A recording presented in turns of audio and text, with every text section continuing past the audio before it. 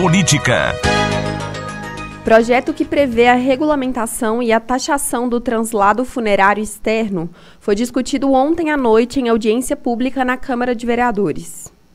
Uma longa audiência pública na noite de ontem discutiu o projeto de lei 926-2023. O texto de autoria dos vereadores Gladstone Gabriel e Mauri da JL previa protocolos sanitários para a retirada de corpos em hospitais, a fim de evitar a superlotação dos necrotérios.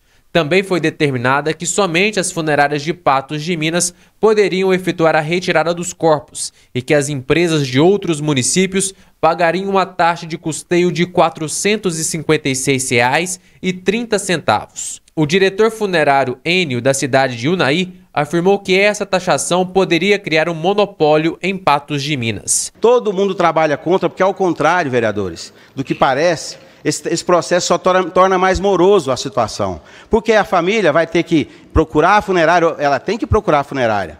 Ela tem que deslocar até a funerária. Às vezes tem duas, três pessoas e o carro funerário carrega uma pessoa quando carrega. Para poder fazer, remover para aquela funerária, ela, a gente tem que localizar a funerária para fazer o transporte. Isso, se for, aí aquela questão, ah, mas e a demora?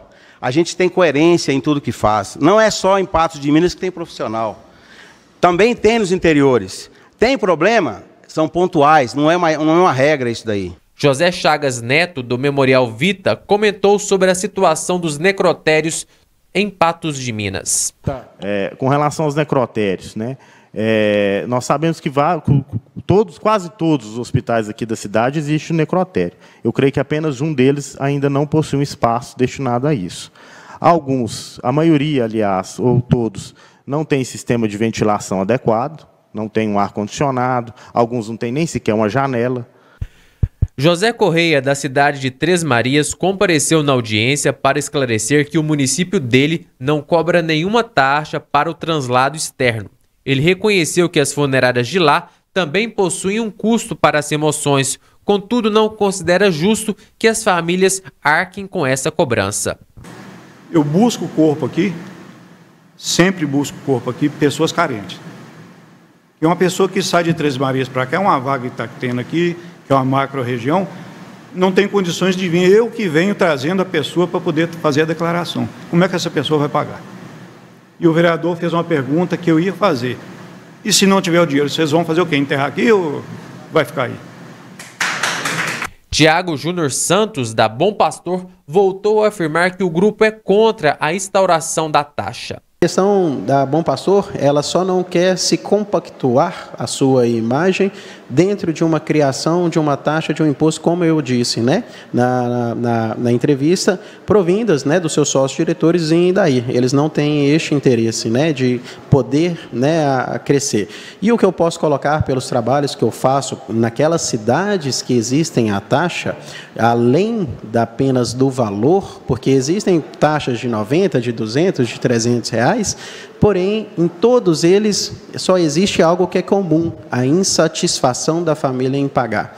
O vereador Ismael, da cidade de Lagamar, também esteve na audiência e se manifestou contra o projeto. Percebo vários projetos de lei que são para beneficiar alguns e prejudicar a maioria. Então, é, esse tipo de proposição é um tipo de projeto que é polêmico, tanto é que tem essa audiência nesse momento, mas é uma audiência que não é para que as pessoas acham que é uma vantagem. Primeiro que a legislação já ampara essa, essa audiência que é um direito de cada um que está aqui, é direito de quem está acompanhando. Depois de muita discussão, os autores optaram pela retirada definitiva do projeto de lei. O presidente da Câmara e autor Gladstone Gabriel citou que uma comissão será criada no município para discutir melhorias para o serviço funerário. Entendemos o projeto de autoria do vereador Mauri, da JL e eu, nós entendemos perfeitamente aqui hoje.